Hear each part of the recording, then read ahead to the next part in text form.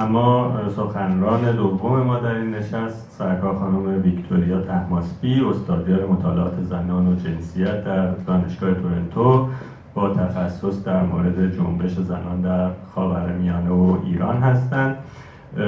دعوت می‌کنم ایشون تشریف بیارند و بعد باز من برمیگردم تا سخنران آخرمون رو معرفی بکنم.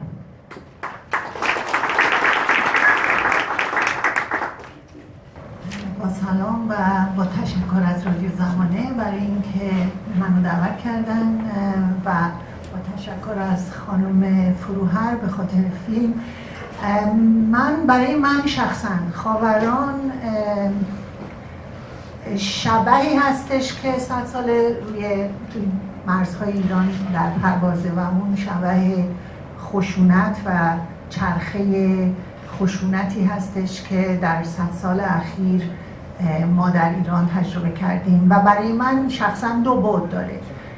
یک بود شخصی و فردی که این سوال که ما می‌خوایم چیکار کنیم با دیگری که به قول شاملو حتی عدو هم نیست که انکار من است.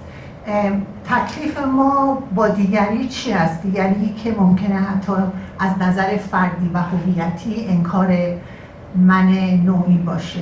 و از نظر و بود دیگرش که خاوران برای من شخصا سیمبولایز می‌کنه بود سیاسیش هستش و اینکه ما می‌خوایم با رقابت سیاسی با جنگ سیاسی با اختلافات سیاسی در تاریخمون چگونه برخورد کنیم و در با نگاه کردن به خاوران اتفاقی که دوران انقلاب افتاد ما می‌خوایم این رو چجوری بازنویسی کنیم و بهش فکر کنیم. من خودم شخصا فقط نظر دارم به قول معروف نظر دارم فقط و نظر شخصیم هستش. ولی امیدوارم بشه بعدا در گفتگویی که میشه بیشتر راجع به این مسئله صحبت کنیم و بیشتر من این دوتا بر من همیشه فاجعه و نسکشی که در دهه 60 اتفاق افتاد این دو تا سوال رو همیشه تا الان برای من به همراه داشته ولی خب امروز خیلی صحبت مختصری خواهم داشت و ترجیح میدم بیشتر بحث و گفتگو کنیم و سوال و جواب. و اینجا فقط تو این کوتاه سخن تمرکزم رو راستش گذاشتم روی یه سری از فوکسم بیشتر از روی کار پژوهشی خودم هستش که روی تجربه های آنلاین در خاورمیانه و اهمیت اون در پیشبرد جنبش های دادخواهی و مطالبه محور کردن دادخواهی در واقع می‌خوام یه صحبت مختصری بکنم. بنابراین بحث من بیشتر تو این بحث مختصر بیشتر فوکسم کاربردیه و یه مقدار یه چند تا مثال دارم و بعد یک جنبندی خیلی کوتاه. چیزی که غالبا تو فضای کنشگری ایران برای دادخواهی مشاهده میشه حداقل اینا همه نظر من هستش اینه که افرادی که دور هم و حول مطالباتی جمع میشن معمولا مایل نیستن که این دادخواهی رو از قدرت های حاکمه بکنن. و فقط هم در رابطه با ایران نیستش که عمومیت داره. و شاید هم حق با اونها باشه. چرا که باور عمومی اینه که دادخواهی از قدرت استبدادی به نوعی به رسمیت شناختن اون قدرت حاکم است. گذشته از آن در جنایتی که توسط حکومت ها انجام میشه معمولا به طور مثال کشتارهای دهه 60 و به خصوص قتل عام زندانیان سیاسی در تابستان 67 تا مدت ها ابعاد جنایت معلوم نیست. یعنی ابعاد جنایت روشن نیست. دهه 60 که بالاخص به خاطر نبود اینترنت و خب همونجور که تمام اتفاقاتی که در جنگ ایران و عراق افتاد و بمب‌های شیمیایی که عراق استفاده کرد بر علیه ایران تا ده یعنی تا مدت ها هیچ کس حتی حاضر نبود راجع بهشون صحبت کنه.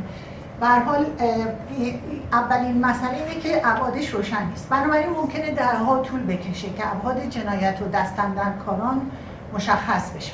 بعد باید تلاش کرد که جنایت به رسمیت شناخته بشه. تا شاید زمانی بشه حاکمیت رو مجبور به پذیرش مسئولیت خودش کرد.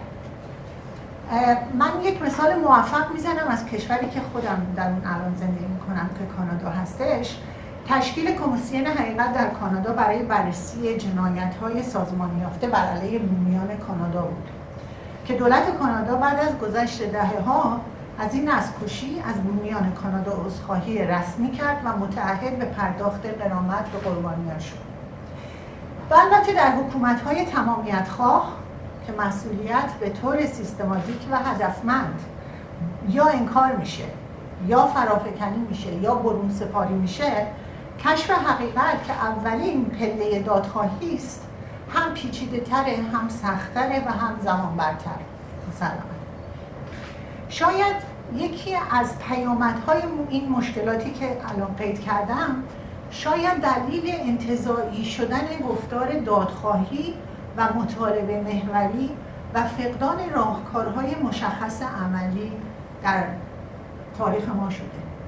حداقل برای چند دهه اول بعد از انقلاب. اما اونچه که در فرایند دادخواهی به نظر من مهمه فضایی که مطالبه محوری ایجاد می‌کنه برای ارتباط افقی و شبکه‌ای بین مردم بین کنشگران و گروه های سیاسی و مدنی که خودش خود این مسئله یکی از مهمترین زمینه های توانمندسازی و قدرتسازی از پایینه اما در مورد مطالبه محوری تجربه آنلاین ما چی میگه؟ من مطمئنم خب بسیاری از ما فکر می‌کنیم یا بیشتر تمایل داریم که فکر کنیم اینترنت و شبکه های اجتماعی جایی هستش که خشم آدم ها میان خشمشون رو بروز میدن و به قول ما میگیم کلیکتیویسمه یعنی در واقع اکتیویزم نیست فقط اونجا کلیک می‌کنیم و فکر می‌کنیم که اقدام سیاسی کردیم. ولی من چند تا مثال برای شما می‌خوام بزنم که نشون بدم که چجوری دنیای مجازی می‌تونه مسئله دادخواهی رو در فرم بسیار سازمان یافته به حول یک سری مطالبات مشخص ارگانایز کنه و بعد بتونه تاثیر مثبت داشته باشه. ببینید اهمیت دنیای مجازی و رسانه‌های اجتماعی به عنوان فضا برای سازماندهی برای بسیج و مقاومت برای دادخواهی و به عنوان ابزار برای عمل جمعی یعنی پل ارتباطی بودن بین آنلاین و آفلاین در طول جنبش سبز جنبش های بهار عربی در قیام ها و خیزش های اخیر در خاورمیانه به نظر من به خوبی نشون داده شده. فعالان در تونس، مصر، بحرین، کویت، ترکیه، سوریه، بعدها در لبنان، الان عراق و بقیه کشورهای منطقه از رسانه‌های اجتماعی برای شکل دادن خشم مردم و تبدیل اون به مطالبات مشخص و قابل انجام و قابل دستیابی استفاده کردن و نقش مهمی ایفا شده. همین پروسه بازتاب خشم و نارضایتی مردم در رسانه های اجتماعی و تبدیل اون به اعتراضات مطالبه محور رو ما می‌تونیم در اعتراضات پارک گزی در استانبول ببینیم در جنبش تسخیر وال استریت در آمریکا اعتراضات دانشجویی محیط زیستی در شیلی تظاهرات گسترده علیه آزار اذیت جنسی زنان در هند و بنگلادش و در اعتراضات اخیر کارگری در ایران. می‌تونیم کامل مشاهده کنیم. اجازه بدید چند نمونه مثال بزنم. مثال اولی که می‌خوام بگم و شاید همین ما باهاش آشنا هستیم. کمپین فیسبوک ما همه خالد هستیم. و پس از اینکه خالد سعید 28 ساله توسط افسران پلیس مصر شکنجه شکنجه شد و به قتل رسید این صفحه فیسبوک صدای مطالبه مشخص مردم مصر برای شناسایی و محاکمه قاتلان اون شد. و نقش اساسی و مهمی برای بسیج آوردن مردم در میدان تحریر داشت. اینکه آیا حالا انقلاب مصر موفق شد یا نشد بحث جداگانه ای هستش. پوینت من الان نکته که می‌خوام بگم اینه که چجوری این رسانه های اجتماعی قابلیت اینو دارن که دادخواهی رو در یک ظرف قابل دسترسی بتونن مردم رو دور اون منسجم کنن. مثال دوم که شاید شنیده باشید شاید هم نه یک هشتگی بود به اسم هشتگ ترکی بود به اسم سند آنلات که به فارسی میشه تو هم بگو. این هشتگ در سال 2015 توسط کنشگران فمینیست ترکیه و تقریبا دو سال قبل از جنبش میتو در آمریکای شمالی به وجود اومد در ترکیه. دلیل درست شدن این هشتگ هم تجاوز و قتل دختر جوانی تو ترکیه بود. کنشگران فمینیست از زنان دعوت کردند که زیر هشتگ در مورد اذیت و آزار جنسی که در زندگی شخصی باش مواجه میشن بنویسن و با دیگران به اشتراک بگذارن. بلافاصله بعد از این دعوت هشتگی از زنان برای روایتگری تجربه اذیت و آزار جنسی میلیون ها زن شروع به نوشتن در مورد این مسئله کردن هم به ترکی نوشتن هم به انگلیسی نوشتن.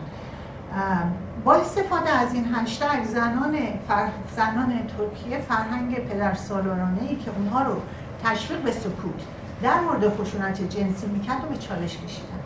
و در این حال راهکارهای عملی که برای بقا و بیرون زدن از روابط استعمالی و استثمالی لازمه رو به همدیگه برای همدیگه به اشتراک گذاشتن. بسیاری از زنان به این هم اکتفا نکرده و در روایت هایشان از استفاده مردان نه تنها از خشونت فیزیکی و جنسی که همچنین استفاده اونها از خشونت روانی، عاطفی و اقتصادی به عنوان اهرام برای اعمال سلطه خود اسم بردن و در مورد جزئیات اون روایتگری کردن. اهرام های قدرتی که به علت کیفیت شخصیشون متاسفانه دادخواهی رو بسیار مشکل و کاربرد روایتگری رو در عوض برجسته می‌کنه. مثال آخری که می‌خوام بزنم ابتکاری از زنان مصر که در واکنش به آزار جنسی در خیابانها و ناامنی فضای بیرون از خونه به وجود اومده در سال 2010 زنان مصر برای نظارت کنترل و افزایش آگاهی مردم یه وبسایتی به نام هراس مپ درست کردن که به فارسی میشه نقشه آزار جنسی. اپش هم موجود هستش که قابل استفاده است توسط تلفن همراه من این اپ به زنان اجازه میده که هر اذیت و آزار خیابونی رو با جزئیات کامل مثل محل و زمان وقوع و مشخصات آزاردهنده و غیره رو در وبسایت ثبت کنه. تو این وبسایت گزارش زنان نقشه برداری میشه و سپس در نقشه به عنوان یک نقطه, نقطه قرمز ظاهر میشه. وقتی روی نقطه کلیک می‌کنید متن کامل گزارش به شما نشون داده میشه و اینکه چه عملی انجام شده و پلیس چیکار کرده. همچنین هر گزارش با اطلاعاتی در مورد چگونگی دسترسی به خدمات حقوقی رایگان و سرویس های روان درمانگری همراهه. با ایجاد این نقشه سازمان های هراسمپ امیدوارن که بتونن الگوهای آزار و اذیت جنسی رو شناسایی بکنن به جای اینکه به طور کلی راجبش بحث کنن. و سکوت پیرامون این مسئله رو بشکنن و مطالبه پایان دادن به خشونت علیه زنان رو به خواسته ملی تبدیل کنن. البته باید بگم در ایران هم پارسال یه تارنمایی به نام دیدبان آزار درست شده. که به, اینو من خود که هستش که از خود مؤسسین تارنما دارم میگم. میگه که واسطه برای طرح مسئله مسئله به صورت گسترده و گفتگوی عمومی در زمینه آزار و اذیت زنان و دیگر گروه های به حاشیه رانده شده در شهرهای کشور. البته وقتی که میری توی وبسایت متاسفانه گزارش های اذیت و آزار نقطه رو که فشار میده هیچ چیز جزئیاتی درش نیست و فاقد جزئیات هستش. بنابراین نمی‌دونم چقدر مفید باشه. لیسبان می‌خوام اهمیت یک یه سری دلایل یا عواملی که فضای مجازی و رسانه های اجتماعی رو اهمیتشون رو در مطالبه محور کردن دادخواهی بگم که اولیش از با ارتباط گیری با جوامع بزرگتر. با به اشتراک گذاشتن اطلاعات با آموزش مجموعه های وسیعتری از اقشار جامعه با شکستن موانع اختناق و سانسور با ایجاد جوامع زیرزمینی با ایجاد شبکه های فراملی با جهانی سازی مطالبات و اهداف جنبش ها با انتشار اطلاعات در مورد جزئیات روزمره زندگی. و تبدیل مشکلات و مسائل خصوصی و شخصی به امری اجتماعی و قابل پیگیری. با کالبد عینی بخشید کالبد عینی بخشیدن به مفاهیم انتظایی مثل عدالت اجتماعی.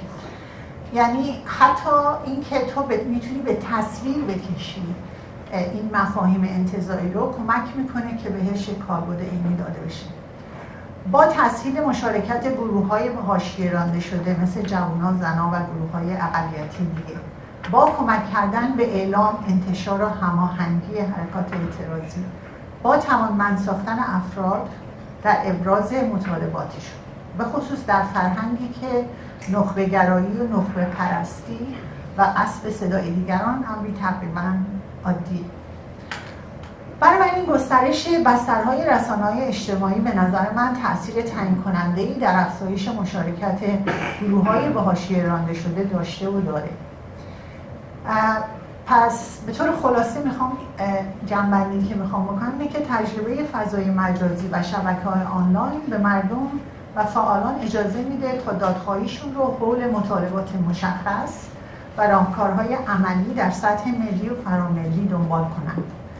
چرا این مسئله اهمیت داره؟ چون به باور من یکی از موثرترین و موفقترین راه های توسعه فرهنگ دادخواهی درگیر کردن افراد جامعه برای مطالبه حقوق خودشان و پیوند اون با دیگرانیه که تجربه زیستی مشابه داشتن رو دارند تنها شاید از این طریقه به نظر من که شاید بتوان بین مطالبات فردی، حرکت های دادخواهی و جنبش های اجتماعی ارتباطی محکم و پایدار به وجود